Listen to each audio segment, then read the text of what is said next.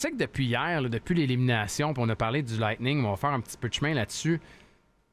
Les gens disent Ah, il va y avoir des changements. Est-ce que c'est Cooper Est-ce que c'est quelque chose d'autre Julien Brisebois va devoir faire quelque chose. Puis on entendait son nom déjà avant. Je suis curieux, on va y aller, on va la faire, Georges, aujourd'hui. Peut-être un peu avant le temps. Mais Steven Stamkos, depuis midi, là, sur la messagerie texte, si c'est pas un message à la minute pour dire Stamkos à Montréal, Stamkos à Montréal. Il y a beaucoup de gens qui pensent que le Canadien de Montréal va partir après des joueurs autonomes sans compensation dans l'entre-saison. Vous, à la maison partisan du Canadien de Montréal, vous dites un oui, un non. Pourquoi? Steven Stamkos a 34 ans. Devient joueur autonome et rappelez-vous, de toute façon, puis Georges, tu vas t'en rappeler parce qu'on était ensemble à l'antenne. Il y a 8 ans, en 2016, Steven Stamkos signait finalement une prolongation de contrat de 8 ans et de 68 millions. Puis tu te rappelles, Georges, des rumeurs à Montréal? Oui. On entendait Toronto, on entendait Montréal, on entendait le Lightning. Et finalement, dans cette journée folle qui est devenue le 29 juin, puis les gens se disent, mais pourquoi la journée folle du 29 juin? Rappelez-vous, en l'espace de quoi? D'une coupe de moins d'une heure ou à peu près, là, il y avait eu la transaction Piquet Souban contre Shea Weber, il y avait eu la transaction d'Adam Larson contre Taylor Hall et il y avait eu la prolongation de contrat de Steven Stamkos. Est-ce que tu serais game? Est-ce que toi, pour toi, là, Georges Larac, est-ce que tu aimerais voir le Canadien de Montréal faire une offre à Steven Stamkos dans l'entre-saison? Non, parce que ça sert à rien. Premièrement, Gonzo, euh, on a parlé de son âge, là. Pour la même raison que Monahan, je te dis non à cause de son âge, Stamkos est encore payé à 34 ans. Stamkos est en fin de carrière. Puis, je veux dire, tu peux pas aller chercher ce gars-là. Puis, de toute façon, il viendra jamais à Montréal. Stamkos a déjà fait semblant de, de, montrer qu'il avait de l'intérêt de venir à Montréal pour faire monter les enchères. Je sais pas si tu te souviens. Puis, il avait pas signé là. Euh, il va jamais signer avec le Canadien de Montréal, Stamkos, en, en, passant. Euh, c'est très dur de partir d'une équipe comme le Lightning qui a passé toute sa carrière là. Puis, puis pas juste ça. Il est familiarisé avec le système de jeu, avec les gars qui sont là. Euh, il a fait 80 points l'année passée. Je sais pas, moi, je, je sais pas si dans une autre équipe, il va être capable d'avoir la même production, Gonzo, qu'il a en ce moment avec le Lightning. Est-ce qu'il va prendre un pay pour rester là? Je serais même pas surpris. Mais Gonzo, ouais. s'il re je vois pas Stamkos avec le Canadien de Montréal. Ce gars-là, si, à l'âge qu'il est rendu, s'il va à quelque part, c'est pour la chance d'avoir de gagner une dernière coupe. Ben oui. Ce qui reste une dernière, une ou peut-être deux bonnes années dans sa carrière. Il va aller, je vois beaucoup plus aller à Edmonton, Colorado, Vegas, des équipes de même qu'aider avec le Canadien de Montréal. Fait que je comprends que les gens qui peuvent commencer à rêver avec Stamkos, là, mais oubliez ça. Il n'y a aucune chance, moi, que je le vois pour le Canadien de Montréal. Puis, Gazo, juste une petite parenthèse par rapport à ça. T'as vu comment, quand ils ont été éliminés, les gens détestent tellement Kucherov. T'as vu les, les mêmes que le monde ont fait avec sa conférence de presse où est-ce que il rit des partisans du Canadien de Montréal? Ouais, il y a trois ans, là. Ouais. Ah non, c'est... C'est... Ben, euh... Fait que Kucherov couche Gonzo, ben il peut aller se coucher.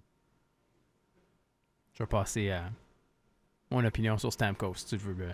Si tu le veux. Ok, continue. Um, je suis totalement d'accord avec toi. Je trouve ça normal que les gens le disent. Je m'y attendais. Mais en même temps, j'ai quelques questions pour vous. Ceux qui pensent que Stamkos serait intéressé à venir jouer avec le Canadien de Montréal. Ma question est toute simple. Pourquoi?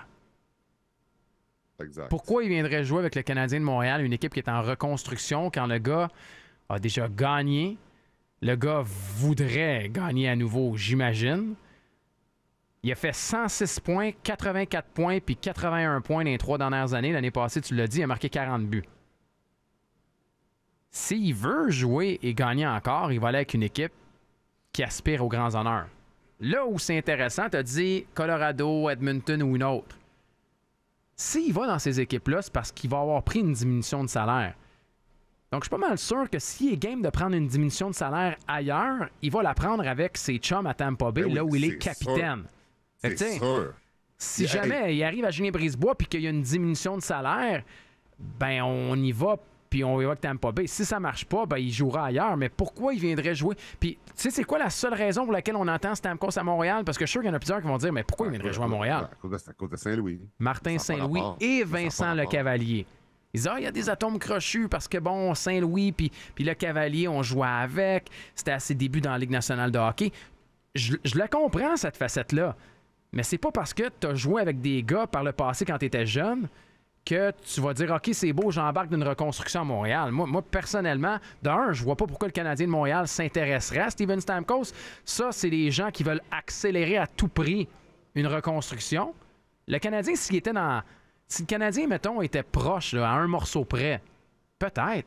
Mais le CH, c'est en reconstruction, Georges. Hey, tu veux-tu chercher une bombe, Gonzo, Vas-y. que, que j'ai oublié de te donner au début du show? Il y a quelqu'un qui travaille dans l'entourage de l'équipe. Il m'a donné une rumeur sur Drysaddle. C'est qu'est-ce qu'il m'a dit? Vas-y donc.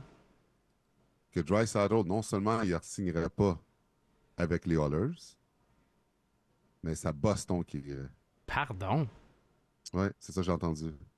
Moi, je le crois pas, là, mais il travaille dans l'entourage de l'équipe. Je peux pas le nommer. Il travaille dans l'entourage de l'équipe qui m'a dit qu'il a entendu que Drysaddle n'allait pas signer avec les Oilers, il allait à Boston. T'imagines-tu si ce gars-là s'en va à Boston en premier centre? Avec Pasternak? Ouais. Puis tu sais, tu regardes un gars comme lui, est-ce que Dry Saddle va signer à Edmonton puis toujours être le deuxième centre? Ou tu veux être le gars de premier plan, premier centre dans une autre équipe? Ça revient à la même question qu'on disait avec Malkin à chaque nouveau contrat. Est-ce que Malkin fou. veut donner premier ailleurs ou il est game et à l'aise de rester dans l'ombre de Sidney Crosby? Mais, mais- mais tu vois, Gonzo, la raison pour laquelle cette année, pour Edmonton, il faut qu'il gagne, c'est important. Parce que, admettons, là, qu'il perde en deuxième ronde, tu contre Vancouver, qu'est-ce qui va arriver? Tu il y a tellement de. Gagner cette année est tellement important parce que moi, j'ai peur qu'il s'en aille. Puis, tu sais, de ce que j'ai entendu, puis ça fait du sens, là. Il- S'il veut être le premier joueur de centre, il faut qu'il s'en aille. Il va jamais dé- déloger McDavid.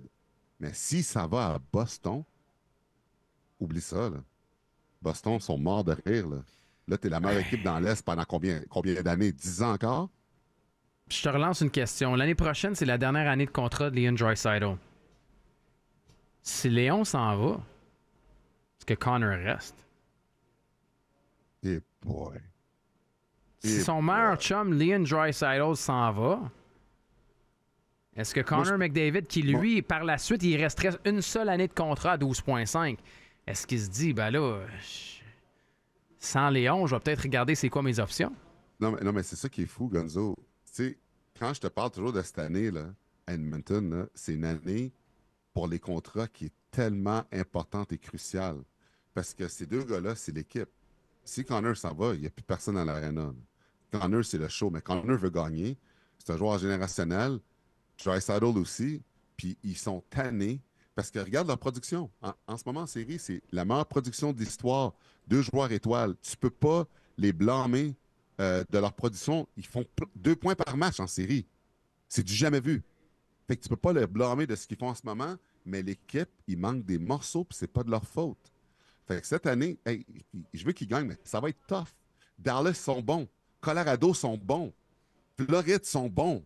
Tu sais, c'est pas évident, là.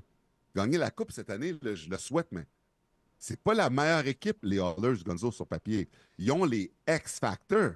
Mais je pense, je pense pour une chose, je sais pas si tu vas être d'accord avec moi. Sur papier, c'est possiblement la meilleure équipe des Oilers des dernières années. Oui, pour ça, oui. Ouais.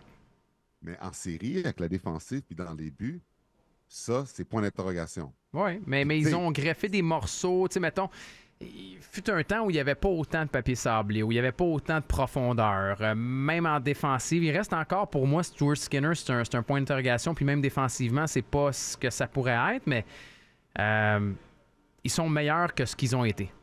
Oui, non, ça, là-dessus, je suis d'accord avec toi. C'est juste que les autres équipes aussi sont meilleures. Mais bref, Là, tu as fait Moi, rêver tous crois- les fans du Canadien de Montréal parce que là, les gens se sont dit ben là, si Léon veut s'en aller, on va lui donner 15 millions à Montréal, on va dérouler le tapis rouge, Léon s'en vient à Ah, ah, Montréal. hey, en passant, tu le fais, là. De quoi? Euh, Montréal, tu sautes dans le derby.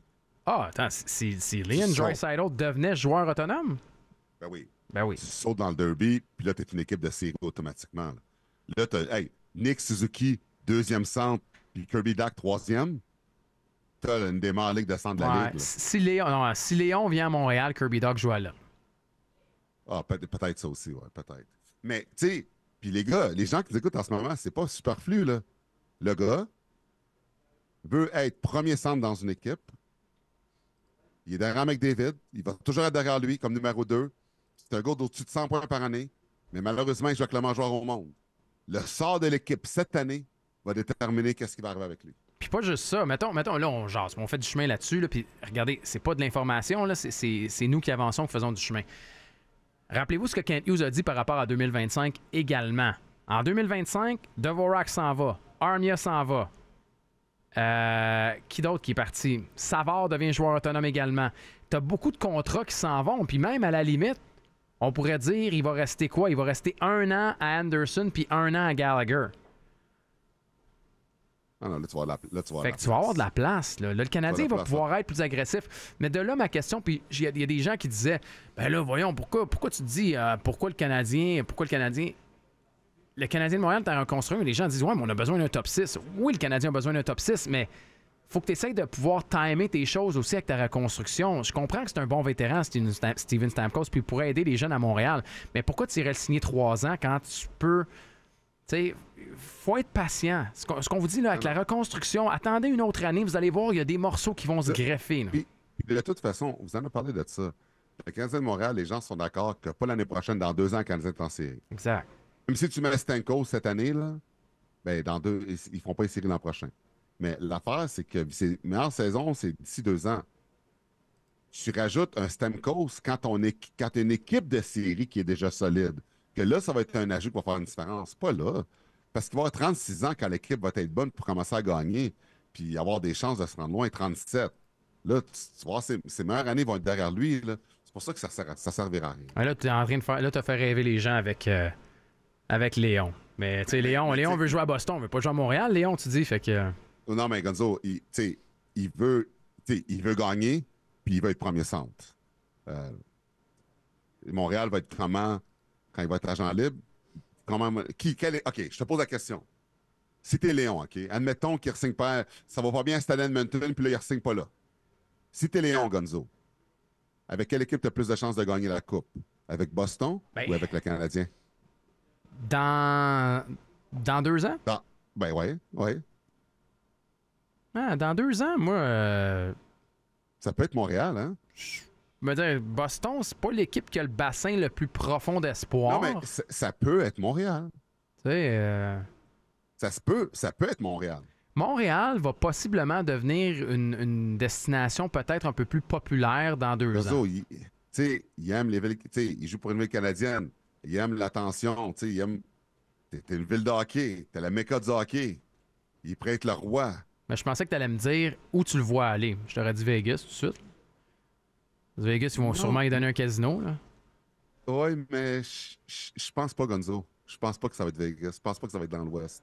Je pense pas. Vegas, là, dans deux ans, là, regarde comment ils sont vieillissants, là. Il y aura plus de marché sauce, Stone et compagnie, ils vont tous être plus vieux. Oublie ça, c'est pas la même affaire. Il est jeune, il est jeune, Dreisaitl. Ben non, si, si jamais il veut s'en aller, t'imagines-tu, je veux dire, toutes les équipes vont lever la main dans l'Est. Ouais, tout le monde, tout le monde va le faire. Toutes Dans- les équipes vont lever la main, je veux dire. Dans la ligne nationale, vont toutes lever l'équipe. Oui, toutes oui, lever mais la je main. dis dans l'Est parce que si jamais il veut aller dans l'Est, mettons, tu sais, la majorité des clubs vont, vont lever la main, là, autant les, les, les, les sénateurs que les Hurricanes, que les Devils, que les, Rangers et compagnie. là. Mais là, hey, tu, tu, t'imagines ça à Montréal, qu'est-ce que ça fait? À Montréal, il est là, Gonzo, il y a une parade. Ah, ça, c'est ouais. gagner. Ça, Gonzo, c'est gagner la loterie sans rien donner. C'est sûr. Puis c'est ça que le Canadien aurait besoin. Le Canadien, là, pour Ça va y en prendre un. Ça va y en prendre un. Si Gorton est capable de faire un, un Panarin, parce que c'est ça qui a changé les Rangers. Panarin est arrivé gratis de Columbus. Ça l'a changé. Il a envoyé une lettre de reconstruction aux partisans, là, mais le Panarin, ça a accéléré, puis pas à peu près. Si tu tires un dry saddle dans ton chapeau gratis demain qui vient à Montréal, là, tu peux penser à une coupe. Le Ben Roger qui dit coupe en 2025, là, il n'est pas trop loin de sa prédiction. Après moi, Ben, il s'achète un, un chandail de Léon. Il y a pas mal de monde qui le font. Ouais, Il y en a une gang qui en aurait des chandails de Léon, ça c'est sûr.